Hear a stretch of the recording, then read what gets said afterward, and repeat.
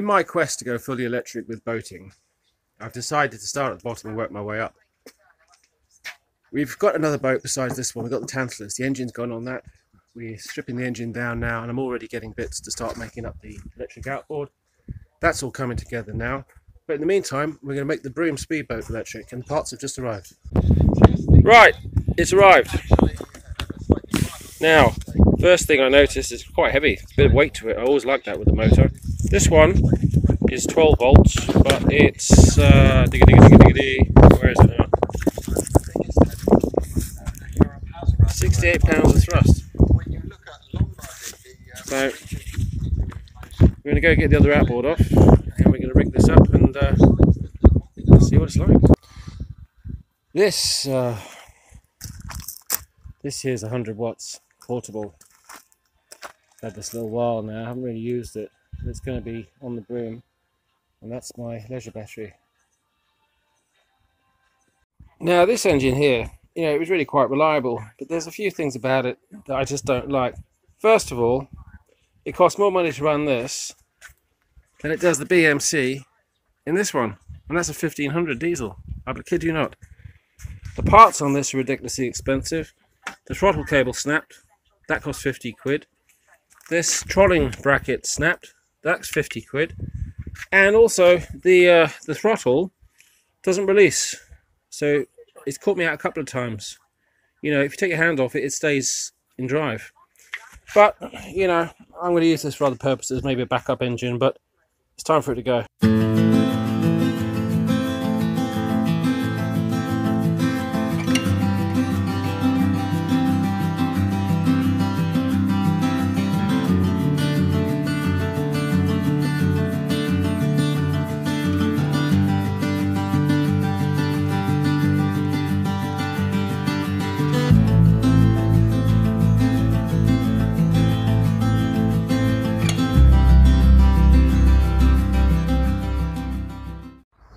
Right, now it's time to go test it. I think I'm probably asking a little bit too much out of this because the Broom is actually quite a heavy boat. I think it weighs something about 250, 300 kilograms. And these motors are normally for dinghies and really tiny, tiny boats. But if it means I can move the boat around without having to fill it with fuel all the time and listen to that bloody engine, I'll be happy. So, let's go, test it out. Got to take some alcohol um, wiping solution to make sure there's none of this coronavirus on the boat. The one thing I have noticed is it doesn't seem to turn off. There's no on-off switch. Um, I do have an isolating switch on the battery. But it'd be nice to be able to turn that off somewhere. Okay, now we've got the portable solar in for the time being. I'm thinking about putting one there at some point. So that'll, that'll be alright, that's fine. And uh, we've got a leisure battery in there to power this. And we've actually got a starter battery in there as well. I'm going to keep that in for the time being because it's got a bilge pump. Right, we've got five settings for um, forward, and we've got five, uh, sorry, three for going backwards. Now, this is actually the second time I've been out on this boat, so I've got a bit of an idea what it's like now. This is the, the lowest possible setting. But one thing that is absolutely remarkable about this is its turning circle. Now we're on the lowest setting now. Now watch this. I mean it literally turns on the spot. now that's got to be handy for mooring, right? How about that? Okay, now we're just going to go up the river here because I've got a little sailboat up here which is waiting to come out. Oh, too far. So that's off, that's on, that's one. Alright, so let's get an idea what it is like. This lowest level. Obviously it's painfully slow, but it's good for moving around when you're mooring. Go number two. Number three.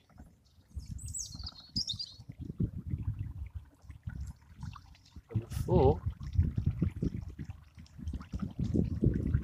And this is five. Wow. Look, it's not as fast as the outboard, obviously, but the outboard was um, seven and a half horsepower.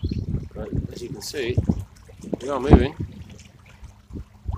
This is a, a heavier boat than the dinghy, as I'm sure you can appreciate.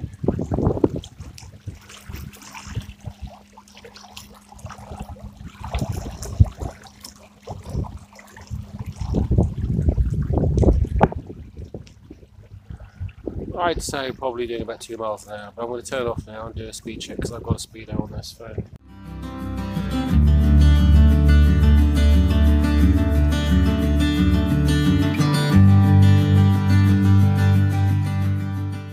So this is basically the best part of four miles an hour. I, I really didn't think it was doing that. I thought I was doing about two miles an hour. So that's that's amazing. I'm really really pleased with this. How awesome is this, man?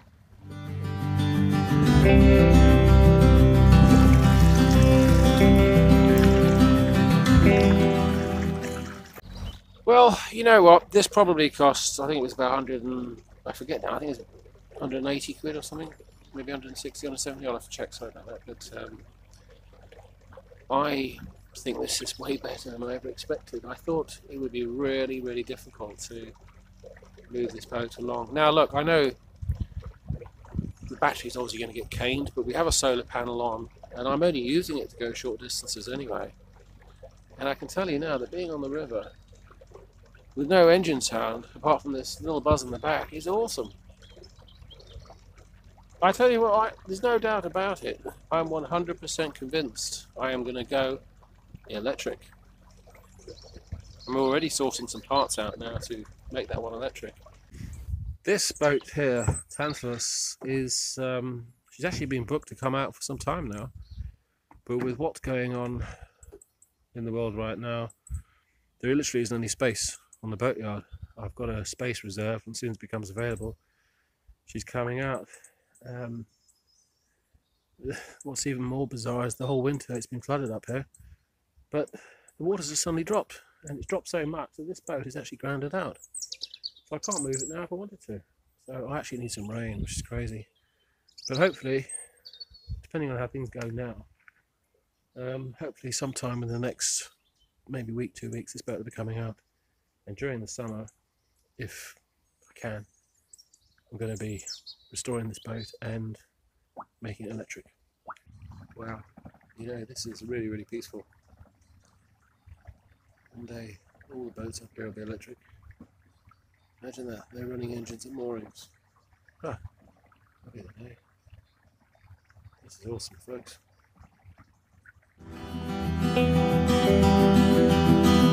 Thing